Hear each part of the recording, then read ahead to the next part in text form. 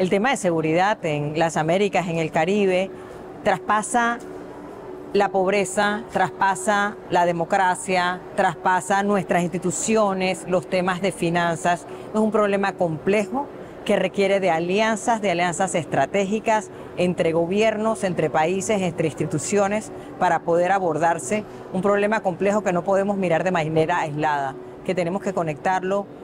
con la falta de oportunidades que enfrentan nuestros ciudadanos, que tenemos que conectarlo con la debilidad institucional que enfrentan nuestros países, tenemos que conectarlo con el crimen organizado. Y creo que es muy pertinente que la CAF ha puesto este tema sobre la mesa, que ha logrado convocar un número tan amplio e importante de actores eh, que, juegan un papel en, el tema en la región, que conversen, que lo discutan, que sigan buscando nuevas formas de, de abordarlo y de manejarlo porque necesitamos,